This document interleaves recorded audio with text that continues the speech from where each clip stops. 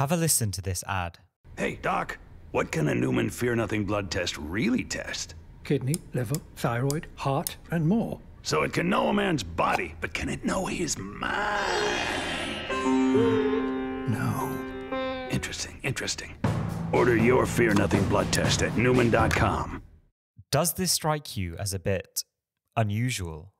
In a field of white coats and sterile brands who are too scared to stand for anything, Numan have really put their neck on the line and grown into one of the largest men's digital health companies ever. But how?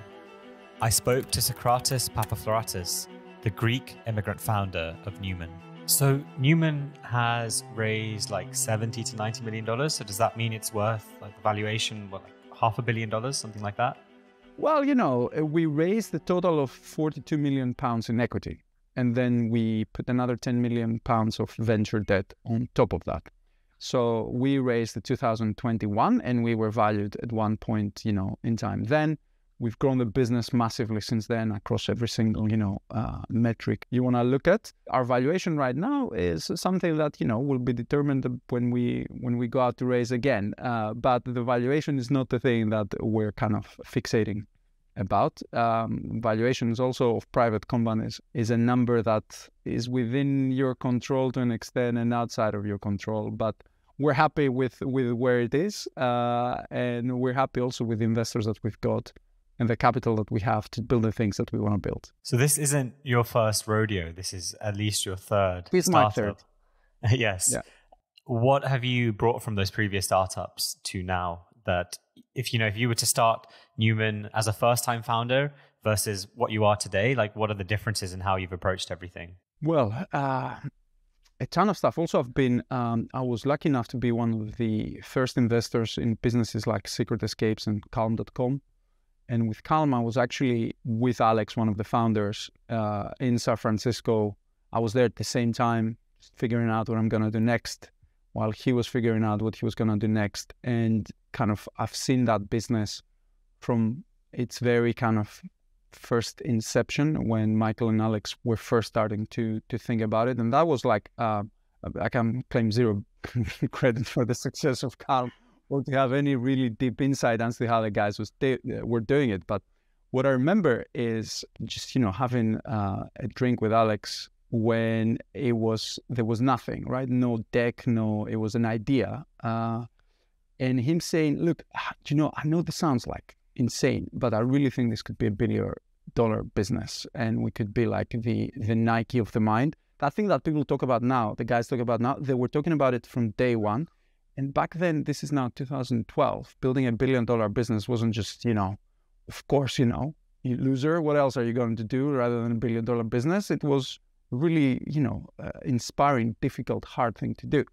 And that was the the big shift was in how big you can and should think. Um, that's kind of the difference from you know now and if you like my earlier part of the of the journey. Um, i'm a lot more comfortable now not only trusting others but recognizing where i need support and what i'm not good at. I'm a lot more secure in being wrong uh, and actually just accepting where people are experts but also being comfortable having conversations and changing your mind with that and that being okay. Whereas when I in my first business when I was you know 27, that was a really difficult thing to do um, eh, because of insecurity. Right. I made also the decision with this business to raise a significant amount of money earlier on, so a lot more comfortable with dilution, with working with investors, with you know, giving control to investors when you're going to work with investors and when you're going to raise multiple rounds, you there are things that as a first-time founder I was, you know, I wouldn't have been able to to handle. I would have been again extremely stressed about. Again, this is me being a first-time founder in 2006 is very different to being a first-time founder now. Um, if you like the education, the inspiration, the content, and things like that that you're you're doing just didn't really exist back then. Uh, the sophistication also of investors on the other side wasn't there. So the it's just a very very different uh, world now. Can you explain the decision to raise aggressively early on? You know, you see founders like Jack Dorsey of Twitter, who I think by the end owned something like three percent of Twitter, and that's kind of given us an example of like why not to do this. So why were you comfortable with raising a lot of money aggressively early on and being willing perhaps to give away ownership along the way? Yeah, again, you know, three percent of a fifty billion dollar company is not too bad, right? Uh, it's uh, it's also often it is not necessarily the percentage of the business that you own. It is also the control that you have around certain key decisions around that business. The thing that you need to figure out is the the business that you're doing. Is it kind of does it have potential to be large enough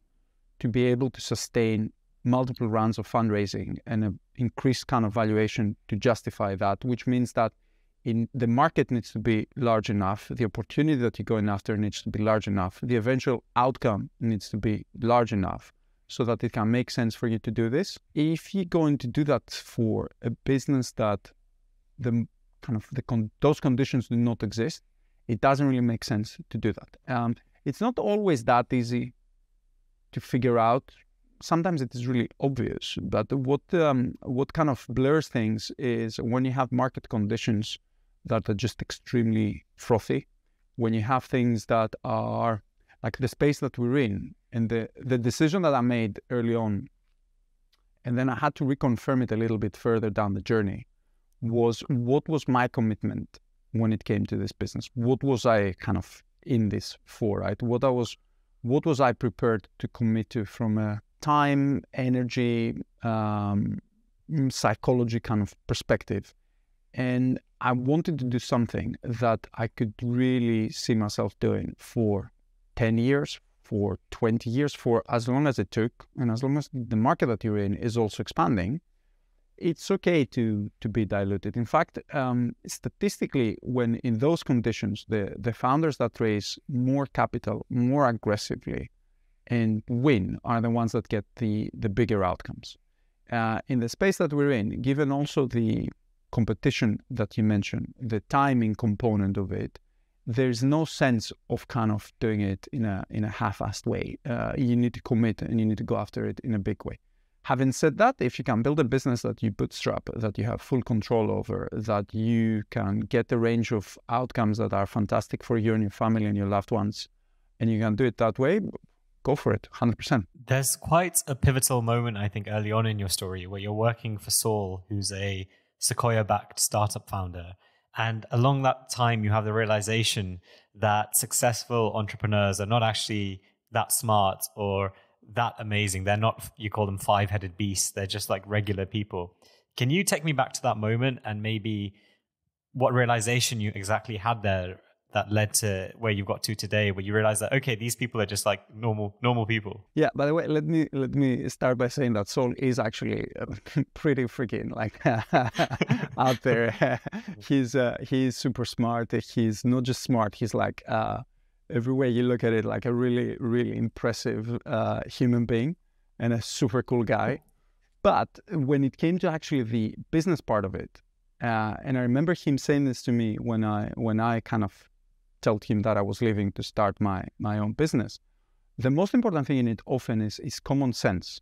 It is not hyper intelligence. And also the things that make you successful is common sense. It is um, emotional, if you like, stability and resiliency. Is the relationships that you build with people. It is the decisions that you make. It is the grit that you have intelligence of course helps and there are founders there that are really hyper intelligent like a bill gates the man is a genius but there is if you were to trade intelligence with a lot of the other attributes you kind of trade it every time right um, i've got a ton of people in the company that are a lot smarter than me i hope i'm pretty sure but you you need to kind of bring all the different elements uh, together for me, the big realization was because I've I've always knew that I was going to build my own business, right? My own business kind of um, wasn't exactly sure what it would be, but I knew that I was going to do it, and most likely in technology.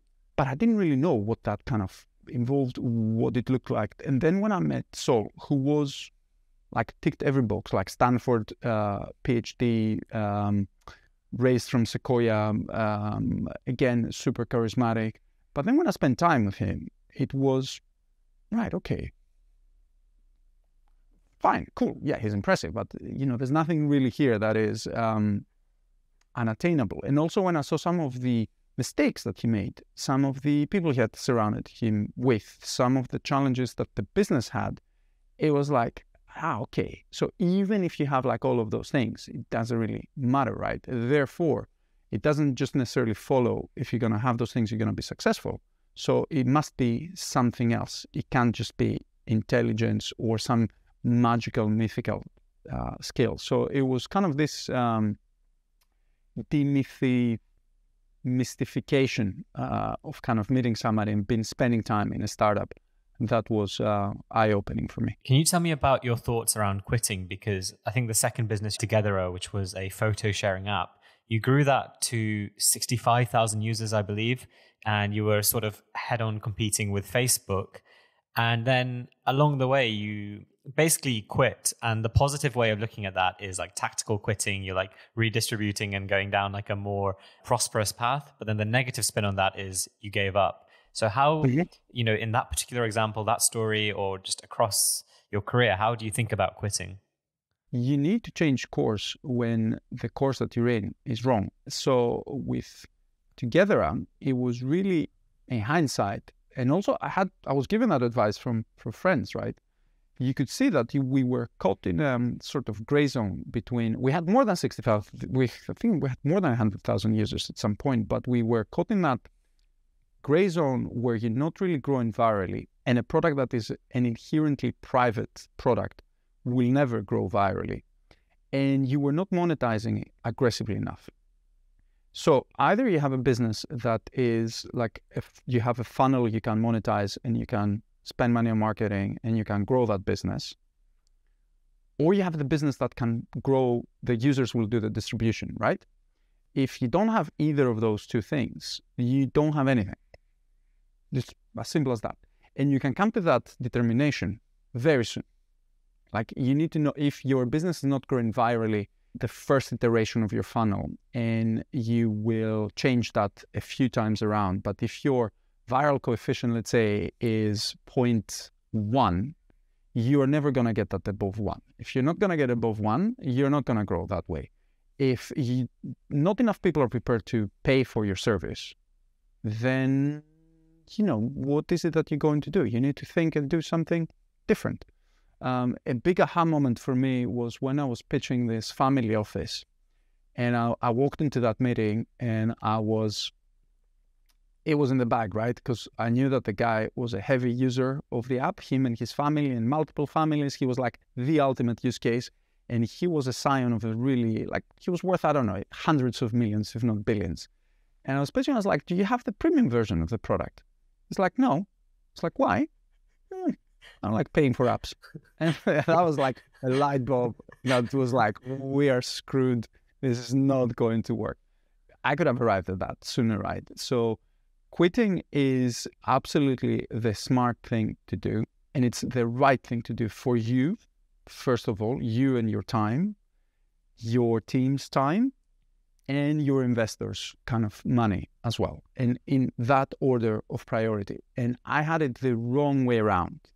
I, I was really you know i take it very seriously raising money as i sh- everybody should but my investors and a lot of them were friends of mine as well at that point we hadn't raised a lot of money they're like yeah okay cool i mean it didn't work out shame but they knew like i knew when i invest like if it doesn't work out I have like zero negative. The only times where things I, I like you, you don't like is when you have people screwing around with um, the idea, with their time. But when someone is really committed, they've tried really hard, and things didn't work out, that's totally fine. It's it's what it is. It's the nature of what we do. It you have to be like really bad at numbers or something wrong with you to not understand that you know this is a the the odds are stacked against you. So um, there's, there's, nothing wrong with uh, changing course or even walking away from something when you know for sure that it's not going to work.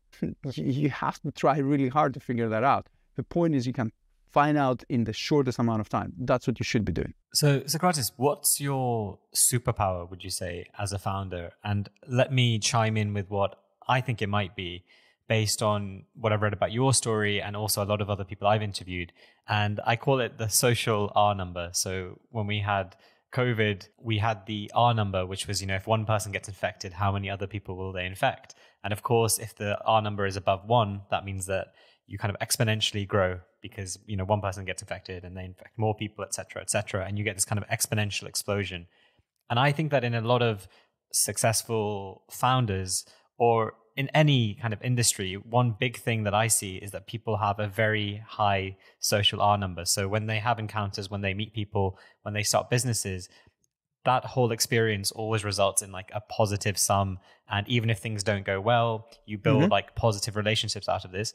Whereas the converse to that, which is someone who's kind of an asshole that no one likes hanging out with, and they go around meeting people and they have like a 0.8 social R number where they meet someone, that person tells someone else, know, that's not a very nice person, he's a b- bit of an asshole, and etc. etc. and they kind of dwindle away. So that's one of my takes on what's made you do well. That you have, I think, a very high social R number, you're very likable, etc. But do you have any thoughts on like what your superpower might be? Uh, thank you. First of all, that's you know, uh, it's good to to hear, and it's actually. Uh, I do use this as an interview question for senior people with a lot of experience. I do ask them to give me examples of uh, people that followed them in their career. And if you've been in senior positions and you worked for 20 years or more and you cannot talk about that, there's something wrong. There's definitely something wrong. And, you know, with Together, uh, it didn't work out. Everybody in that, almost everybody in that company, we were, we were a small team, is a Numan. Uh, our VP of products, my co-founder, our director of engineering was our senior engineer together. Head of mobile is, um, you know, was it um, together as well.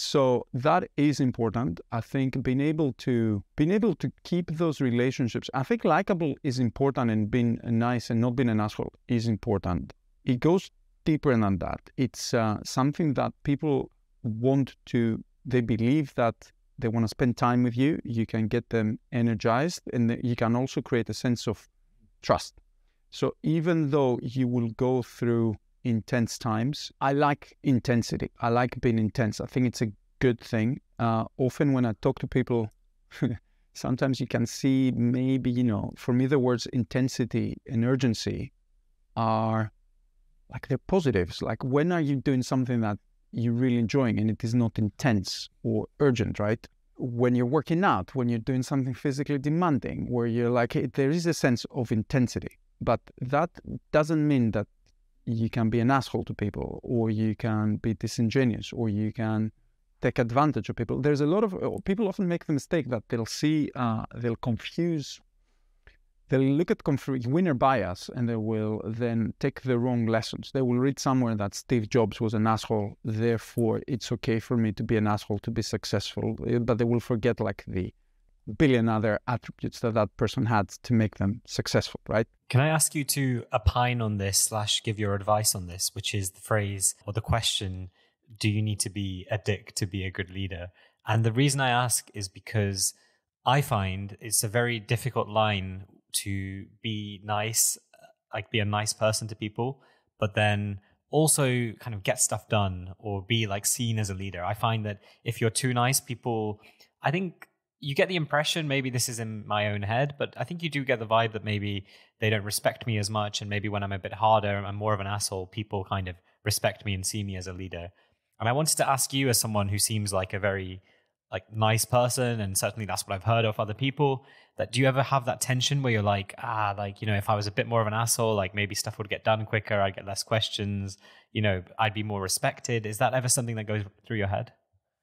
Uh, it, it definitely doesn't. It's not. Um, it's not been. Uh, I don't think being um, somebody who you are not is the answer, right? Um, the question is like sometimes people when you ask them to talk about, you know, when I ask them to describe our culture or when things talk to us when they when they first join us and they use the word nice, I don't like it. Um, I don't like it not because I don't think we should be nice, but I don't think anybody built anything great by being nice. Again, this is not about not being nice, but creating a culture of performance that is also a culture that is honest, that is authentic, that is direct, that it has also empathy. That is really hard. It's really difficult. And I wish I could tell you that I had the uh, the answer to this. It's something that we strive all the time to get better at, um, and uh, so much gets in the way in terms of um, decision making, velocity of decision making, feedback that you give to people. When you catch yourself that you feel like you should be saying something to a person, and you're not, that's when you're you're you're doing it wrong and this is where I've done it wrong when I've kind of let things slide when I knew I shouldn't be letting them slide. Not because I wasn't being nice, because I was being nice, but because I just didn't master the energy and the focus to actually do that. Um, but you you need to be able to you need to be ready to let people go. You need to be able to make sometimes those decisions really quickly you need to kind of, you know, we've not let people finish their probation period because they were not the right fit. Um, and that's tough, right? Because you've hired somebody, you've screwed up. When that happens, we are the ones that made the mistake, not the person. Like our hiring process was the one that's wrong. And you've just taken somebody from a job that they had. That person has families, that person has a sense of, you know, self esteem, that person has a career. You've brought them into the business.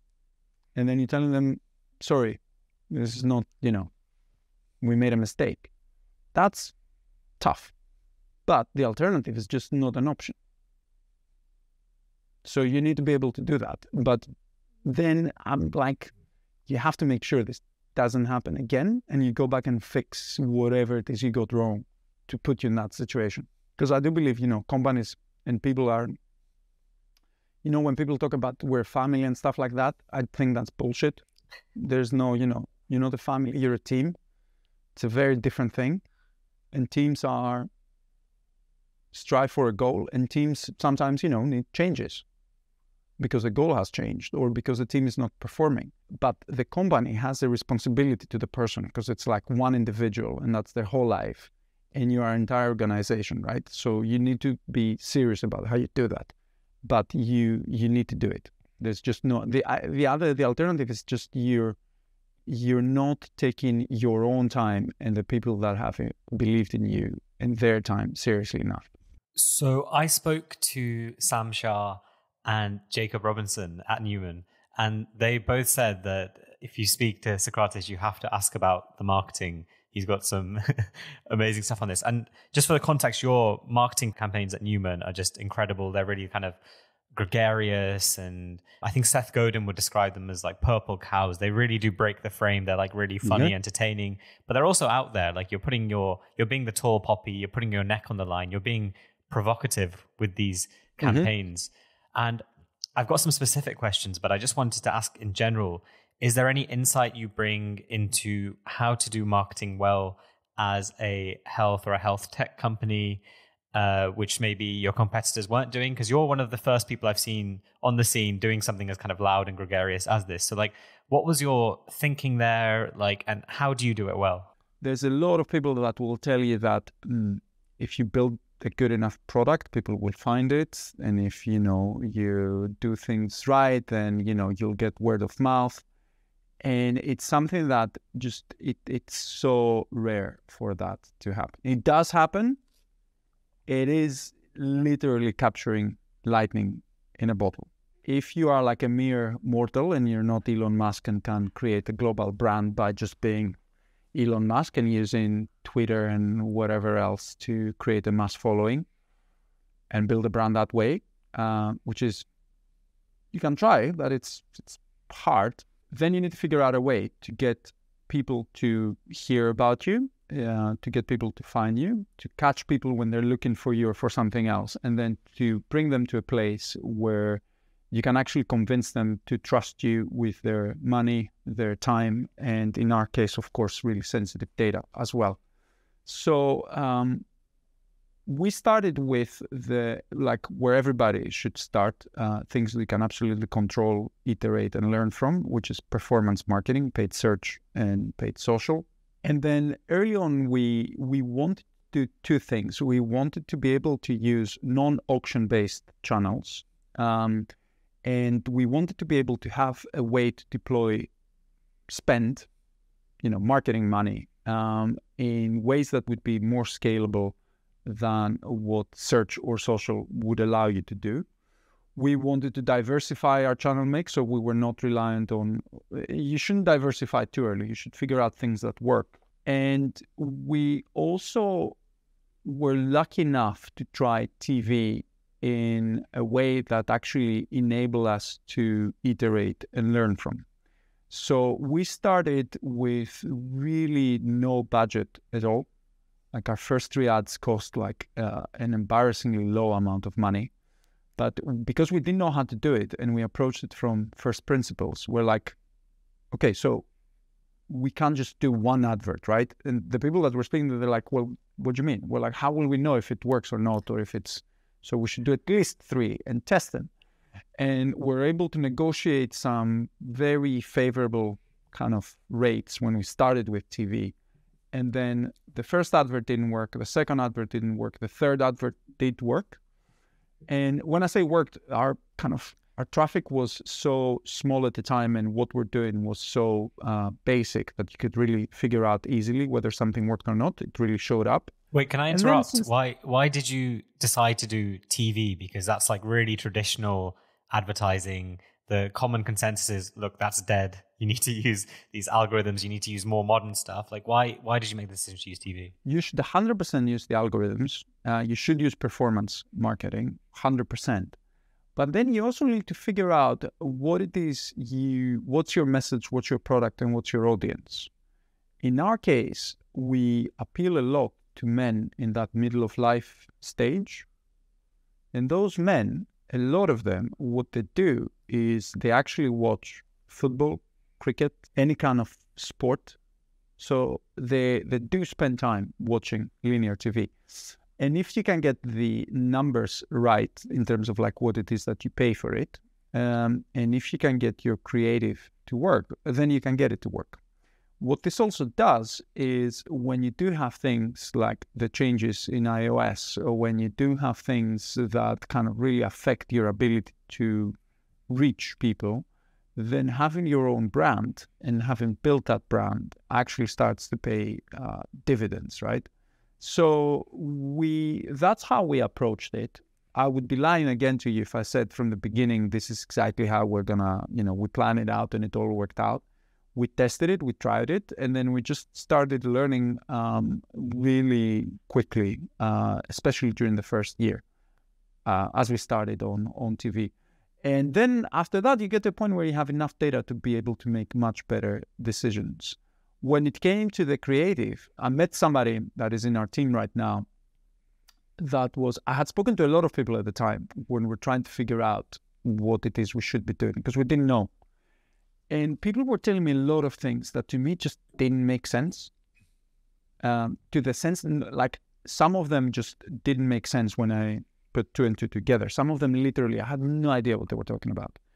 And I, I had a sense that I it wasn't me, it was them. and then I met this person that came from that industry. And it was like, yeah, you're right. No, this they're just selling you what it is that they, you know, you went to these people that do this job, they're going to sell you what they know, what they believe, what they're trained to sell you, right? So we were going to media agents and, and I was saying, give us a strategy.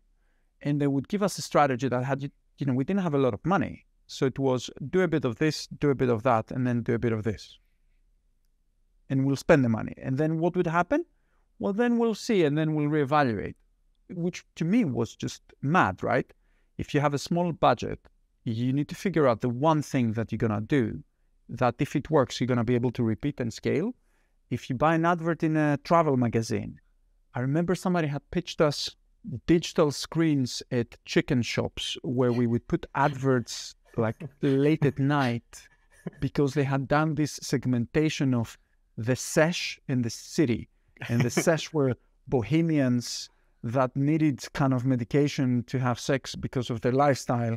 And then the city were stressed out professionals. So you would put an advert at city airport and then you do the chicken shops. And these are like good people. They're not like uh, clowns on the street. These are like professionals. I was like, that just doesn't make any sense to me whatsoever. That's like, surely this is, but you don't know, right? And then um, Paul uh, met Paul, and uh, we did a piece of work, and we just really um, we spent a lot of time talking about what it is that how I was thinking about the business, how I was thinking about what we're trying to do, how we thought about men. Paul came with like a viewpoint, which was centered around action and about doing something about the problem. And we tried to be as cut through on that because again, with the with the issues that we're dealing with, they are really complex um, they are multifactorial, they can be physiological, they can be psychogenic. Every individual is so different. These kind of marketing buckets that people put in are abstract constructs that marketeers often create because they need to do that. And the one, the unifying thing that brings all of those things together is that you have a problem, you are aware that you have the problem, it is undeniable but you're denying yourself the solution. And the thing that we need to do is to really just motivate you to just take action and take that first step and do something. And all the other stuff we're going to leave for you to figure out. We're not going to patronize you. We're not going to hug you. We're not going to, but we're going to inspire you, motivate you, and basically just get your attention. The big thing that people are afraid of is how they're going to be perceived, how will they be misunderstood, what will happen next. The biggest problem is that nobody will care about what you're doing. That's it. And then nobody will do something about what it is that you want them to do. So this is where we zeroed in. And uh, then it became like simple in a sense, not easy. Like, how do you get a message across that motivates people to to take action, and that's why our um, adverts are the way that they are. Uh, there is really deep thought behind them. There is marketing science behind them. You need distinctive. A guy that I like, um, um, he's writing more than Seth Godin is Byron Sharp. Uh, from um, he's written books. The the seminal book is How Brands Grow, where he talks about you need distinctive brand assets, and you need to make uh, relevant memory associations with a category. So when somebody thinks about the category, they think of you. And when you invest in marketing, your assets are distinctive, that they stand out. And when I read that book, it really made sense to me. I was like, okay, I get it. And also from a neuroscience and kind of from memory and the way that behavior works, it kind of worked. The other stuff just didn't resonate at all. And uh, we stayed true to that. And it's been, uh, one of the best decisions that we we made in the business. I want to talk about your brand identity of Numan and some of the risks and opportunities you've had there. Now, Seth Godin talks a lot about tribes. So when you're making a brand, it's more about starting a tribe of people. And it's very obvious how Numan's kind of a tribe. And the thing with a tribe is that not only do you need to be clear about what you are for, but you also need to be clear what you're not. Mm-hmm. And one of the risks I can see in a brand like Numan, where you're kind of, again, gregarious, loud, you're capturing people's attention, you're very straight to the point, you're very kind of I don't know if this is how you would describe it, but I would say like anti-establishment. We are not we are not the old guard. We are not the boring mm-hmm. health brand that's like very clinical and sterile and you know you get all your results to like six decimal places. We are like the cool new uh, movement that's been started. But I guess that brings loads of opportunities. But one of the cons is is that when people are dealing with their health. This is very serious stuff. They mm-hmm. might see a billboard of like a big wiener in Times Square with Numan's brand on it, and they're like, "Who are these jokers?" I mean, I'm this is my health. Like, I want some serious adults in the room to to be dealing with this. So, is that a risk you've taken? Is that and how have you thought about it? And has that had some negative consequences as well as some good ones? It is a risk. Um, and again, in, in those kind of uh, in that, when you're taking that approach, if you do not take a risk, um, you are taking a risk. I, you're just not going to be effective. Um, you're not going to be able to get that attention. You're not going to be able to get people to remember you. If you do stay only at that, then you will alienate people and you will lose people. So when we do take people on a journey, we do stress a lot more after that the fact that you know we are a registered healthcare provider that's been you know twice inspected and rated as good by the the CQC that we operate um, ethically that we source you know we procure medicine the way that you know that people can trust us. Um, but yeah, it's um, there's no. At some point, you need to make decisions on this, and you need to, to choose, and you need to figure out what the trade-offs will be. The problem is that you cannot really be sure. Um, we do the thing we do is that we do survey and we measure the brand, and we do that every six months or so, and we do ask people around trusting about them trusting us about how they feel.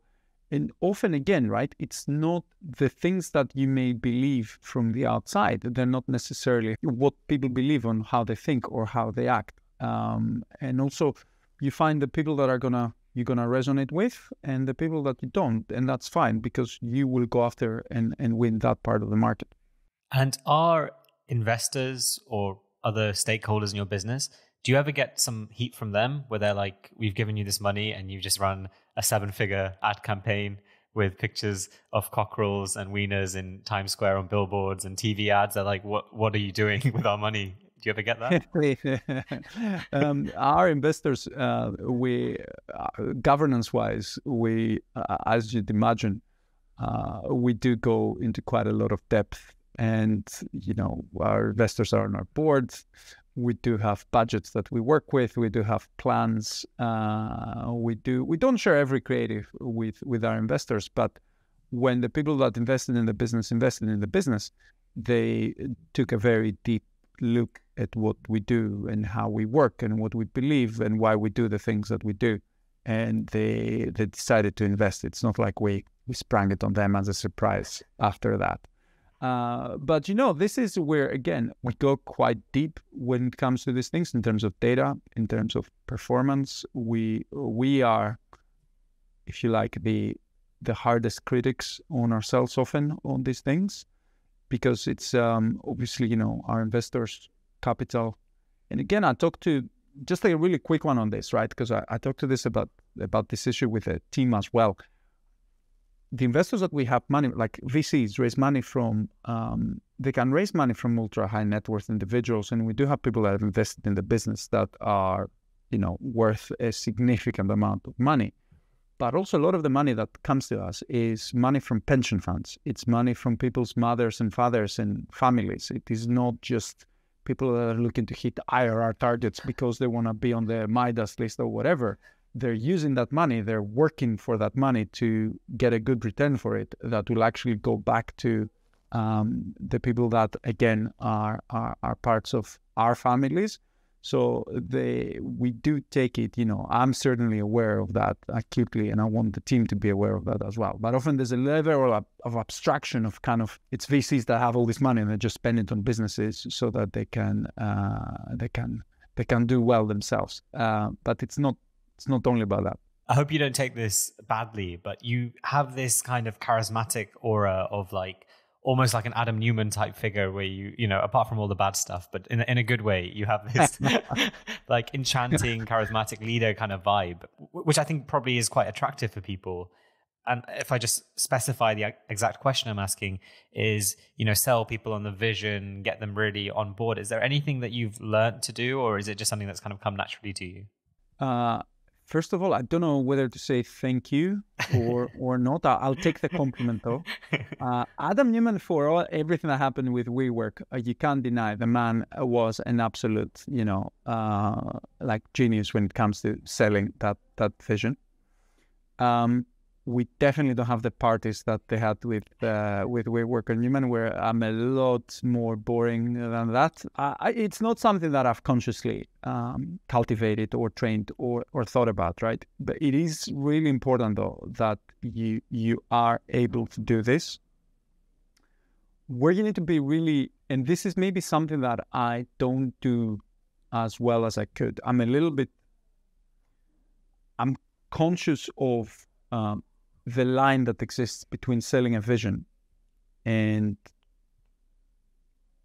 lying, misleading, right? And that line is not that um, that easy to see sometimes. Sometimes it is really easy to see. But when uh, I was watching the what was it called the uh, the program with uh, Jared Leto, the WeWork, the one on Apple TV. I don't know if you've seen that series. It's really good. Yeah, yeah. Or when you saw the the Dropout with Liz Holmes. Uh, it's the story of Theranos. And you know, you see them talking about the vision, the mission, about getting people excited, and you're like, hang on a sec.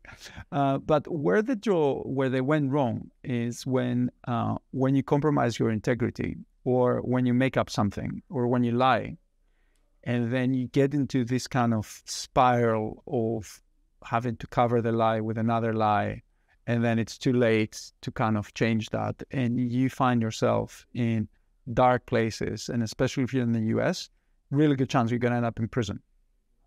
Like it's um, uh, Clayton Christensen talks about this uh, about one of the things that he does in his lectures. He tells people about um, how many of his graduates ended up in prison. Like the CEO of Enron, the um, you know, you reach the point. You you're I'm a, the registered manager for uh, our business, right? So um, the fine for uh, getting things wrong, apart obviously in other businesses, I used to say, you know, nobody will die uh, with what we do. In our case, it's not nobody will die. Somebody will die because we deal with patients, and at some point, given enough time and given enough patience, unfortunately, somebody that is in our care for something, it might be an unrelated, of course, condition, but they're patients, and we need to treat that really seriously, right? Or the things that we do the ultimate fine is imprisonment if you screw things up uh, with MHRA or with the CQC. We are, but that's something you have to take really seriously. And you need to be able, though, at the same time, to motivate people. You have to have an exciting vision, and you need to have that passion that you can you can convey and you can communicate, right? And it's something that uh, it always came naturally to me. It's uh, maybe a bit of an aside here. Um, in my first business, we raised half a million pounds, myself and my co-founder, uh, when we had like nothing. And in hindsight, I mean, we had the website and it had like 12,000 visitors a month or something. And when I look back at the, I found randomly one day the, the, the deck that we had. It was pitiful. It was just absolutely shocking. And then we met um, How's That, Hugo Burge and David Soskin and they and, and Hugo unfortunately passed away. Um, uh, I'll, I'll talk about Hugo in a second because he he taught me a bunch of really important stuff. But they invested in us half a million pounds. Um, we grew the business. We worked together. We sold the business, and then after you know we exited, we are celebrating and stuff. I said to Hugo like, you know, how did you? Why did you invest in us? and he's like, you were really passionate about it. And I was like, um, was that it? Are you kidding me? Uh, is that kind of all uh, all it would take? He's like, yeah. Uh, it was. It really came through. And then I was speaking to somebody else that uh, one of our other investors, and they it they they really talked about how it's the thing that they're looking for is like really people who are passionate about what we're doing with a big vision that they believe in and they want to support, right? Because that's what you need if you want to deploy capital to be able to grow a business. You need to find somebody that you can believe that they want to do this, right? And this is not something you can fake. Um, you have to be able to to have that passion. And if you don't have it, you shouldn't be starting a business. You shouldn't be doing it. Um, and that's kind of what I learned when uh, with my second business. I really, you know, I loved our product and everything else. I can't say I was as passionate about it. I didn't feel it in the way that I feel this business and how I felt my my first business. So Hugo was uh, he taught me a lot about this, and it, I didn't realize it in my first business when I was 27, and also I was a little bit. I didn't think uh, Hugo had on his LinkedIn passion as one of his core strengths. I was like, like passion, like this is, you know, that is the weak, right? And I was just so immature, and I learned that from from him the hard way when I tried to do something I wasn't as passionate, and then it was so painful to go through that experience. Unfortunately, Hugo passed away a few weeks ago at 51, and it's um, it's heartbreaking, and I so regret that I didn't make more of an effort to see him and spend time the the the intervening few years because he he was the CEO of Cheap Flights. He um, run that for 17 years, exited for 500 million, took over Marchmont House in Scotland, turned into a center of the arts, and kind of uh, He invested in businesses like he was the C, the chairman of Motorway. He was just such a brilliant, charismatic, like great person. And yeah, he um, unfortunately he he, uh, he passed away a few weeks ago. But uh, that's one of the things that he was really very clear eyed about how important it was. I really like to kind of analyze and dissect interesting, charismatic people that I interview, but also look to historical examples and you know even people like cult leaders, populist leaders, just try and understand how they inspire people with their vision. And I've got two theories on this. So I think the first theory is that they inspire people because you've mentioned this kind of passion, but I think on a deeper level, it's this magnetism of certainty. Someone who's passionate gives off a very certain energy, and they give this vibe off that they're a train going forward, and that you can either get on the train or mm-hmm. you don't and you miss it. And I think that's one thing about people that I notice who are very charismatic. They give off this energy of I'm a train barreling forward, either get on or get out the way, sort of thing.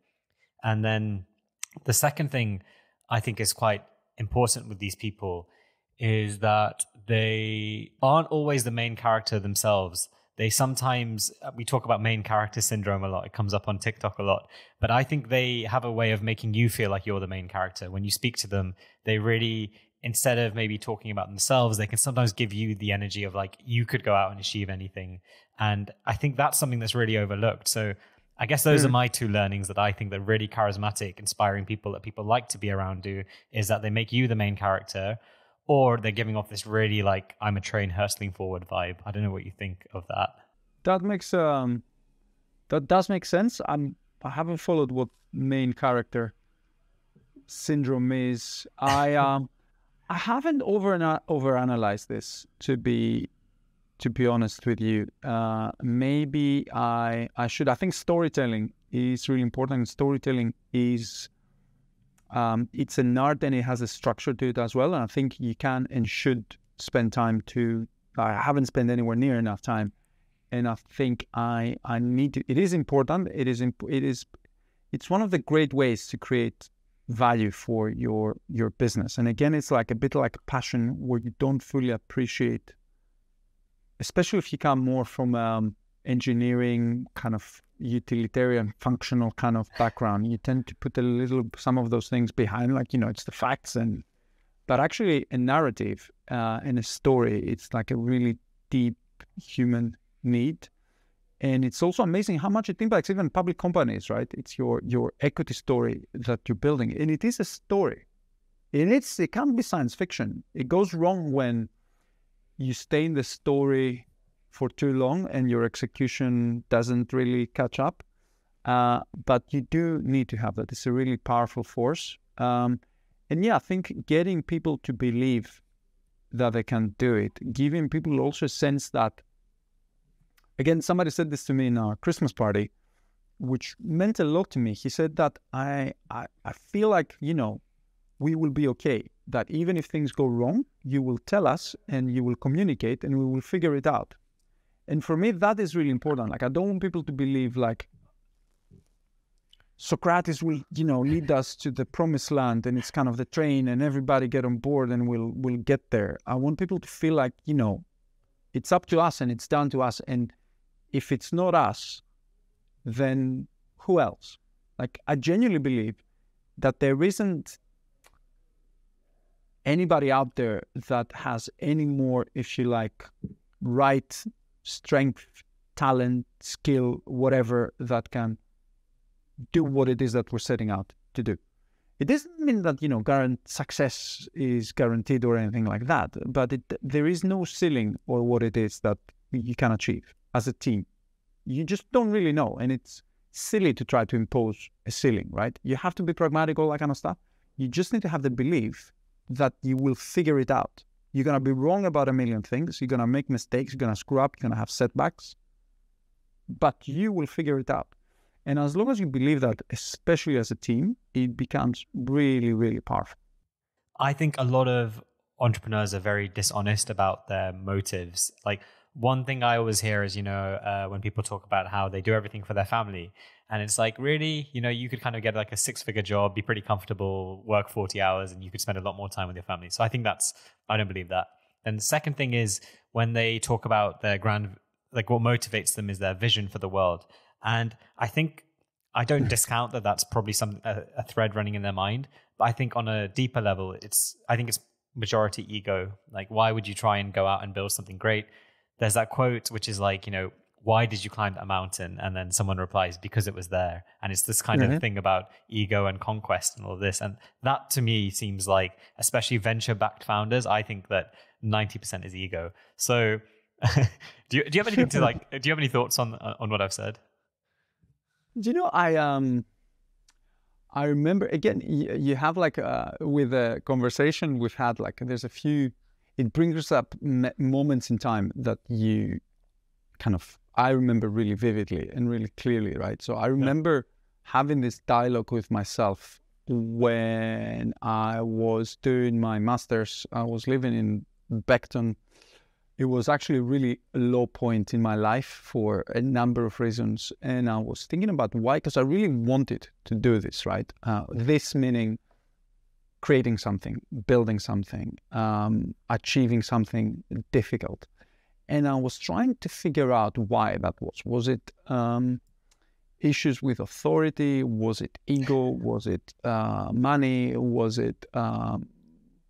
At the end of the day, I ended up at the conclusion that I just wasn't gonna really try to figure it out and dig too deeply into it. I just wanted to freaking do it, so I was going to do it. Why do I still do it? Is a good question.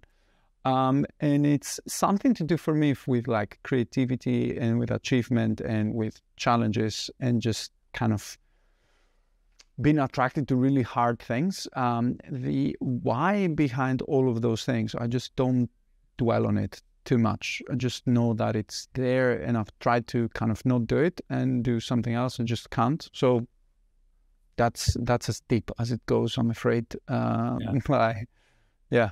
No, I get that. Like, what's the point of psychoanalyzing it too much? I mean, what's it gonna achieve? I guess. Um, yeah, it doesn't really. You should do it if you're not really sure, or if you're doing it for the wrong reasons. Like if you're saying that you're doing it for your family, that's you know, patently not true. If you're doing it for the world, maybe for some people, um, they they're they. Some people do have a higher calling and the sense of like innate mission that is almost kind of religious. They're really uh, rare. Uh, but yeah, um, I just want to do it because it's I'm interested, I'm drawn to it. I like creating things. I like to kind of achieve difficult challenges because we have a short time um, on this planet, and that's what I kind of get my motivation, get my kicks from from doing. I hope you enjoyed that episode. You can find all my links by going to bigpicturemedicine.co.uk. And if you've been enjoying the podcast, then please consider leaving a review. And by the way, all of these episodes are now available on Spotify and on YouTube in video format. Thanks for listening.